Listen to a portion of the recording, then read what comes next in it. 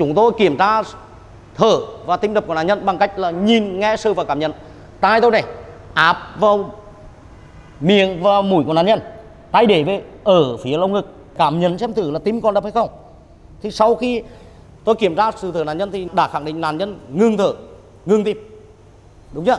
Thì tôi sẽ tiến hành hồi sinh tim phổi cơ bản hay chúng ta còn gọi một cách nôm na đó là hô hấp nhân tạo. Bằng cách như sau.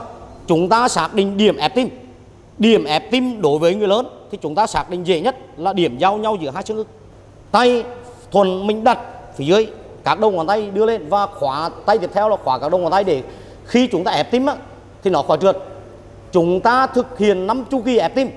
Mỗi chu kỳ có 30 lần ép tim hai lần thuộc kỳ tôi thực hiện chu kỳ lần thứ nhất này. 1 và 2 và 3 và 4 và 5 và 6 và 7 và 8 và 9 và 10, 11, 12, 13, 14, 15, 16, 17, 18, 19, 21, 22, 23, 24, 25, 26, 27, 28, 29, 30. Sau 30 lần ép tim thì chúng ta ngửa cổ nạn nhân bịt mũi và há miệng thổi vào đây hai cái.